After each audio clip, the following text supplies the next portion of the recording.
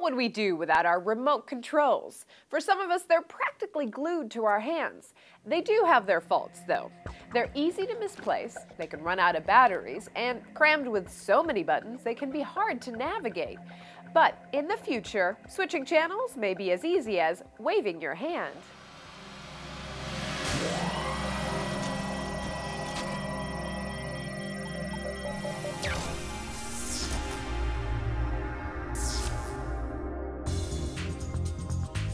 How will the way we watch TV change in the coming years? Imagine being able to turn your TV on by pointing at it and going like this, or turn it off by going like that.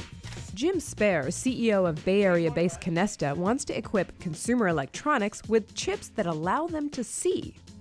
What's unique about our approach is it's very, very low cost and high volume, which enables us to literally sight enable any type of electronic device.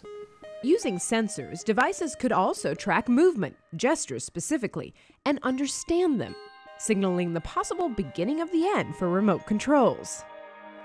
Our chip has an array of pixels, similar to a digital camera. But unlike a digital camera, each of our pixels measure distance, or measure the time it takes light to travel from an optical source off the object and into the pixel. And each pixel does this distance measurement for us independently and in real time. So it looks very much similar in concept to these old pin art diagrams that we all used to have on our coffee tables, where each pixel is a distance value, thus creating a three-dimensional image that then moves in real time. Instead of fishing for the remote control behind couch cushions, you'd wave your hand to activate the system. A menu pops up, and by swiping and pointing, you control the TV. And it's not only for TV displays.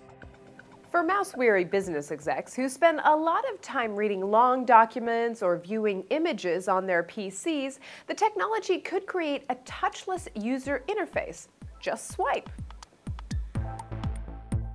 Ask Jim Spare what else the technology is capable of, and his imagination wanders. Imagine you're a professional business user teleconferencing from home, but you don't want uh, images of your children playing in the background or your messy house included in a professional setting.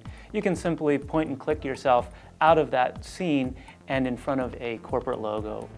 But imagine what can happen when you sight enable something as simple as an alarm clock. Instead of having to roll over out of bed and, and hit the buzzer button, imagine that the alarm clock simply uh, turns itself off when it notices that you get out of bed. It'll likely be several years before those applications are available to consumers, but the first televisions that you can control with gestures should be in stores by 2010. The future of remote controls could lie in a flick of your wrist or a point of your finger. For BNet, I'm Sumi Das.